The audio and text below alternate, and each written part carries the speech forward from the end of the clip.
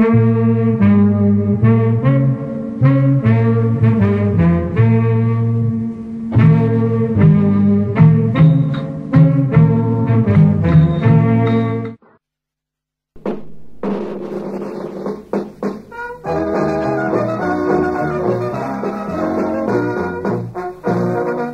នេះភ្នំពេញផ្សាយចេញពីក្រមព្រះសូរិយានាទីមរតកភាពយន្តខ្មែរ រៀបរៀងនិងអត្ថាធិប្បាយដោយវីរៈវរនីស្រាវជ្រាវនិងផលិតដោយក្រមព្រះសូរិយា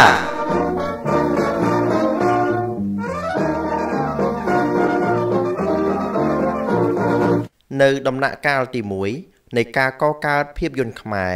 មានផលិតករខ្មែរតិចតួចណាស់ ដែលបានរួមគ្នាកសាងស្នាដៃតាមរយៈការស្វែងយល់ដោយខ្លួនឯងក្នុងការសង្កេតមើលខ្សែភាពយន្តអន្តរជាតិនិងការសម្ដែងរបស់តារាល្បីៗដែលបានត្រូវគេនាំយកមកបញ្ចាំងនៅប្រទេសកម្ពុជាដូចជាខ្សែភាពយន្តរបស់ប្រទេសបារាំងខ្សែភាពយន្តអាមេរិកខ្សែភាពយន្តជប៉ុននិងខ្សែភាពយន្តរបស់ឥណ្ឌាជាដើមមកដល់ដើមទសវត្សរ៍ឆ្នាំ60 គេចាប់ផ្ដើមឃើញ មានវត្តមានផលិតករខ្មែរថ្មីថ្មីមួយចំនួន បានបង្ហាញស្នាដៃរបស់ខ្លួនលើរោងភាពយន្តជាច្រើន នៅកំឡុងឆ្នាំនោះខ្សែភាពយន្តខ្មែរក៏ពុំទាន់វិវត្តក្នុងបច្ចេកទេសជឿនលឿនដោយពាក់កណ្ដាលទសវត្សរ៍ឆ្នាំ60ដែរភាពយន្តមួយក្នុងចំណោមភាពយន្តខ្មែរជាច្រើន នៅពេលដែលកម្ពុជាទៅមានពន្លកបន្តិចនៃវិស័យភាពយន្តនេះគឺរឿងក្បូនជីវិត ជាខ្សែភាពយន្តដែលមានភាពល្បីល្បាញគួរសម ធ្វើឲ្យមហាទស្សនិកជនមួយចំនួន ដែលនិយមទស្សនាខ្សែភាពយន្តបរទេសងាកមកចាប់អារម្មណ៍លើវិស័យភាពយន្តខ្មែរវិញ ថាមានពន្លកជាផ្លែផ្កាខ្លះហើយវីរៈវរនីសូមធ្វើបទអត្ថាធិប្បាយពីខ្សែភាពយន្តរឿងក្បូនជីវិតនេះសូមសម្ដេចព្រះអង្គម្ចាស់ព្រះអង្គម្ចាស់ក្សត្រីអ្នកអង្គម្ចាស់អ្នកអង្គម្ចាស់ក្សត្រីឯឧត្តមលោកអុកញ៉ាលោកលោកស្រីនាងកញ្ញាទ្រង់ព្រះសម្ដាប់និងអញ្ជើញស្ដាប់ដូចតទៅ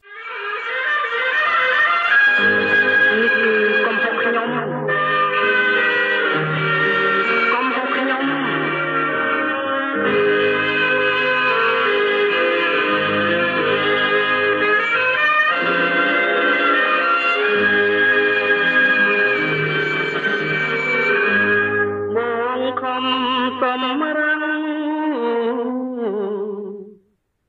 សំរួចចិត្តស្មង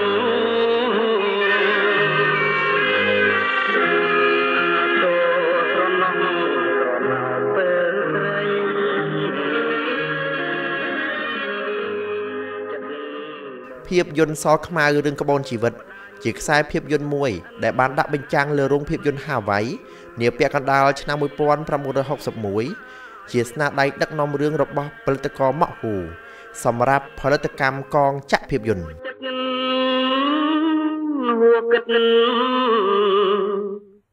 ពួងហែងអ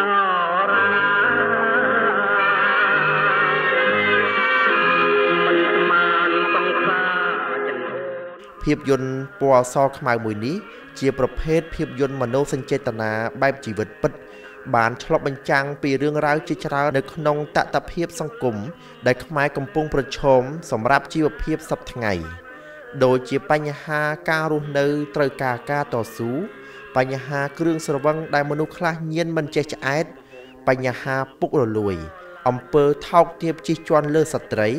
និងចំនួនក្នុងត្រកូលគ្រួសារ យោងតាមអត្ថបទមួយដែលក្រមព្រះសូរិយាបានរកឃើញនៅក្នុងទស្សនាវដ្តីសាស្ត្រាចារ្យឆ្នាំទី4លេខទី6ផ្សាយនៅក្នុងឆ្នាំ1961បានធ្វើបទវិភាគវិនិច្ឆ័យឲ្យបន្ទុកលើភាពយន្តនេះថាល្អប្រសើរគួរឲ្យកត់សម្គាល់នេះកុំមកខ្ញុំសិនក្តីស្មង ក្រោយពីអ្នកវិភាគរបស់ទស្សនាវដ្តីសាស្ត្រាចារ្យបានអញ្ជើញទៅទស្សនាខ្សែភាពយន្តនេះនៅរោងភាពយន្តហាវ៉ៃឯកសារនេះចាត់ទុកថាជាឯកសារមាសដ៏សំខាន់នៃមរតកភាពយន្តខ្មែរក្នុងអត្ថបទអត្ថាធិប្បាយនេះបានធ្វើសេចក្តីសង្ខេបខ្លឹមសារសំខាន់នៃខ្សែភាពយន្តនេះដែលមានអត្ថន័យដូចតទៅផ្ដើមរឿងរៀបរាប់អំពីដូនចាស់ម្នាក់ឈ្មោះច័ន្ទមានកូនប្រុស3នាក់កូនច្បងឈ្មោះសារិត កូនទី2ឈ្មោះសារិនិងកូនទី3ឈ្មោះសារំសារិតជានិស្សិតមហាវិទ្យាល័យច្បាប់សារិជាអ្នកបើកបររថយន្តឈ្នួល ហើយសារំជាកម្មករថ្ងៃមួយសារិមានទុកជាតំងន់ព្រោះរថយន្តរបស់គេបានប៉ះទង្គិចស្ត្រីម្នាក់ឈ្មោះមីលា នៅឱកាសដែលសារិទៅសួរសុខទុក្ខហើយសុំទោសនាង នៅក្នុងមន្ទីរពេទ្យនាងមីលាបានរៀបរាប់រឿងរ៉ាវរបស់នាងថា នាងជាបុត្រីរបស់លោកសិទ្ធិផល្លាសម្បត្តិ តែលោកសិទ្ធិគ្មានរាប់ទទួលស្គាល់នាងនឹងម្ដាយឡើយព្រោះលោកសិទ្ធិមានភរិយាថ្មី ហើយមានកូនស្រីម្នាក់ឈ្មោះសូរ៉ាតីក្រោយមកជីដូននាង និងម្ដាយនាងបានធ្វើមរណកិច្ចទៅ នាងមីលាក៏រសាត់ទៅតាមការផ្សងព្រេងធ្លាក់ខ្លួនជាក្មេងស្មោមយចកដើរសុំទៀនរួចបានคล้ายជាអ្នកស៊ីឈ្នួលនៅផ្ទះឪពុករបស់នាង ហើយត្រូវភរិយាក្រៅរបស់ឪពុកនាង ប្រច័នគេវាយដំសង្កត់សង្កិននាងគ្មានប្រណីសោះ នាងក៏លួចរត់ចេញមក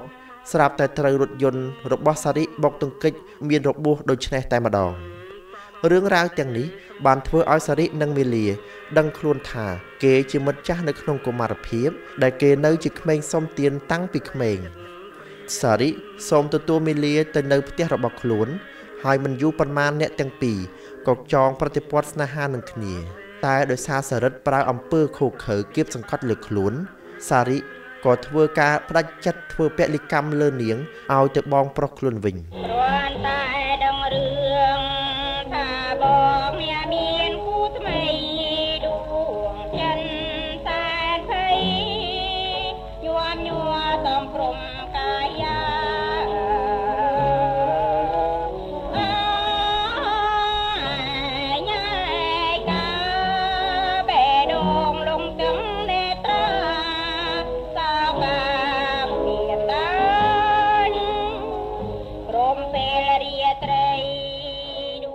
សារិតជាមនុស្សគុណវង្វេងក្នុងបុណ្យស័ក្តិនិងទ្រព្យសម្បត្តិ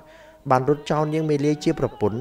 ដើម្បីទៅតាក់ទងនាងសូរតីជាកូនប្រពន្ធក្រោយរបស់លោកសេដ្ឋីឪពុកនាងមេលាទទួលពេលនោះលោកយាយច័ន្ទជាម្ដាយបានធ្លាក់ខ្លួនឈឺឯសារំក៏ត្រូវភ្នាក់ងារប៉ូលីសចាប់ខ្លួនព្រោះគេបានបង្ខំចិត្តប្រព្រឹត្តអំពើចោរកម្មដើម្បីរកប្រាក់ទិញថ្នាំព្យាបាលម្ដាយនៅទីបំផុត លោកយាយច័ន្ទបានទទួលមរណភាពទៅលោកឃើញម្ដាយដាច់ខ្យល់ស្លាប់ហើយទុកវេទនាដូចនេះសារំឈឺចិត្តកិច្ចខ្លួនពីកម្ដាប់ដៃប៉ូលីសដើម្បីទៅបាញ់សម្លាប់សារិតជាបងដែលនេគុណនេះតែភ្នាក់ងារប៉ូលីសមកទាន់ក៏បាញ់សារំស្លាប់ទៅដែរ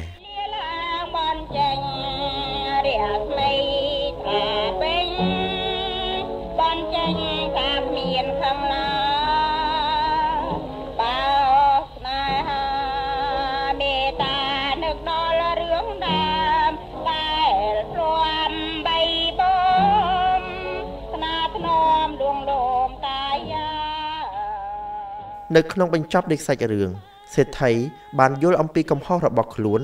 ក៏យល់ព្រមឲ្យសារិតទទួលមេលាជាភរិយាឡើងវិញតាមការស្រាវជ្រាវយ៉ាងលម្អិតខ្សែភាពយន្តរឿងក្បូនជីវិតនេះ ជាខ្សែភាពយន្តដំបូងបង្អស់ដែលនាំឲ្យតារាស្រីឌីសាវ៉េតឲ្យមានឈ្មោះលើវិស័យសិល្បៈភាពយន្តខ្មែរក្រោយពេលដែលតារារូបនេះប្រឡងជាប់បវរកញ្ញាលេខ1ប្រចាំសង្កាត់លេខ5នៃរាជធានីភ្នំពេញកាលពីឆ្នាំ1959 តន្ត្រីករពេជ្រសាលឿនបានបង្ហាញខ្លួនជាតួឯកក្នុងខ្សែភាពយន្តនេះជាលើកដំបូង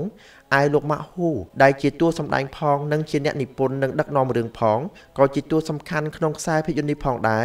នៅខណៈដែរមុំស៊ីផាន់កំពូលតារាសម្ដែងលេខ1ជាតួនារីកូនអ្នកមានបងបីបង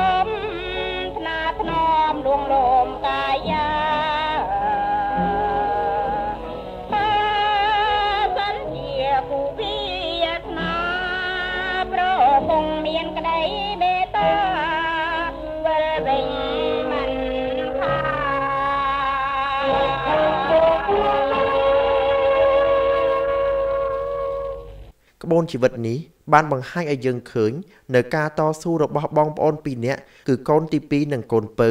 ដែលបានតស៊ូប្រឆាំងនឹងសេចក្តីទល់ក្រជាយាមរកប្រាក់សងមេបំណុលដែលមករួមរិទ្ធគ្រួសារដើម្បីឲ្យរស់រានមានជីវិតជាសម្ភារៈនិងបានរៀនសូត្រខ្លះនឹងគេបើជីវិតនៃគ្រួសារនេះចេះតែរក្សាដំណើរដូចនេះបានរហូតទៅឃើញថាគេអាចនឹងស្គាល់ពន្លឺសុភមង្គលជាអតិបរមាបាន ជាពិសេស គឺពេលដែលសារិទ្ធចេញធ្វើការចំណុចនេះបានជួយអប់រំយុវជនយើងឲ្យចេះរកសេចក្តីសប្បាយសេចក្តីថ្លៃថ្នូរឃើញ មិនថាឡើយ តែក្នុងការងារខាងប្រាជ្ញាទេទោះបីជាការងារហត្ថកម្មក៏ដោយឯកិត្តិយសរបស់មនុស្សម្នាក់ម្នាក់វិញវាស្ថិតនៅត្រង់សភាពស្អាតបាតនិងធម៌ពលរបស់យើងក្នុងការងារយើងតែប៉ុណ្ណោះមិនថាយើងជាកម្មករឬជានិមឺន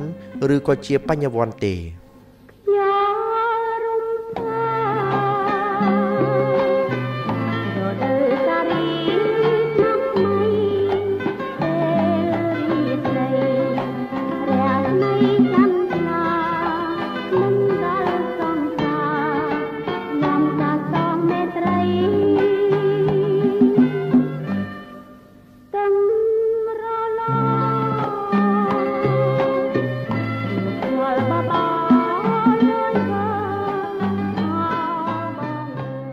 ទន្ទឹមនឹងនេះរឿងក្បូនជីវិតក៏បានលាតត្រដាងម្យ៉ាងទៀតឲ្យឃើញនៅផលវិបាកនៃមនុស្សដែលពោពេញទៅដោយការស្រើបស្រាលពាលានិងពុករលួយយ៉ាងណាមិញសារិទ្ធដែលចេញពីសាលាបានទទួលតំណែងខ្ពស់ហើយបែរជាផ្ដាច់ចិត្តយ៉ាងផុយដើម្បីក្បត់ចិត្តប្រពន្ធហើយទៅជំរះកិត្តិយសរបស់ខ្លួនចោលបន្តិចម្ដងបន្តិចម្ដង និងសុកចិត្តទៅរស់នៅក្រោមអាណាព្យាបាលភាពរបស់នាយទុនម្នាក់ ដែលមកតាក់លោកឡើងជំហរតាក់ដើម្បីសម្រួលផ្លូវជំនួញរបស់គេផងតាក់ដើម្បីស្រោចស្រង់កូនស្រីគេផងនេះហើយព្រះតេជះព្រះគុណសារិទ្ធដែលឆ្លក់នឹងរូបសម្បត្តិជាសម្បករបស់នាងសុរតីផងឆ្លក់នឹងធំនិយមព្រះតេជះព្រះគុណនិយមផងឆ្លក់នឹងលុយនិយមផង ហើយឆ្លក់នឹងការសបាយអាវ៉ាសែផងកងងឹតងងល់វងវែងវងវាន់យកមន់ទៅជាលា ភ្លេចភរិយាភ្លេចមេដាអ្នកមានគុណជន់ឈ្លីកិត្យានុភាពហើយបំផ្លាញសុភមង្គលជាអតិបរមា នៃគ្រួសារខ្លួន ដែលប្អូនទាំងពីរព្រមទាំងមេលាបានខំទាំងញើសឈាមដុសខាត់មកយ៉ាងអង្អាជាយូរមកហើយការផុងខ្លួននេះបណ្ដាមកពីការរស់នៅរបស់សារិទ្ធដែលផ្អែកទៅលើការស្រាបស្រាលតាមគេឯងនិងសកម្មភាពអូសទាញរបស់នាយទុនប្រតិកិរិយា ហើយព្រះតេជះព្រះគុណ ទម្រាំបានភ្ញាក់ខ្លួនក៏ទាល់តែបាត់បង់អស់ជីវិតម្ដាយមួយប្អូនប្រុសមួយ ហើយនឹងទាល់តែភរិយាកើតទុកស្គមរីងរៃស្ទើរស្លាប់ខ្លួន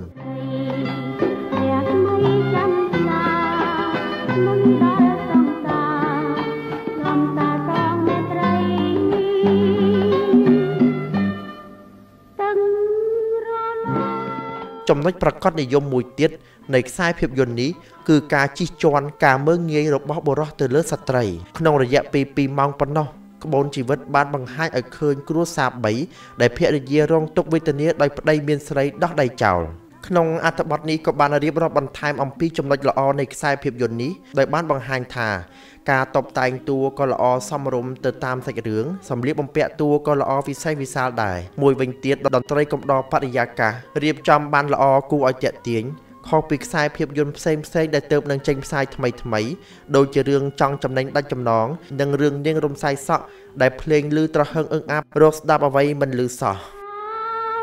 thank you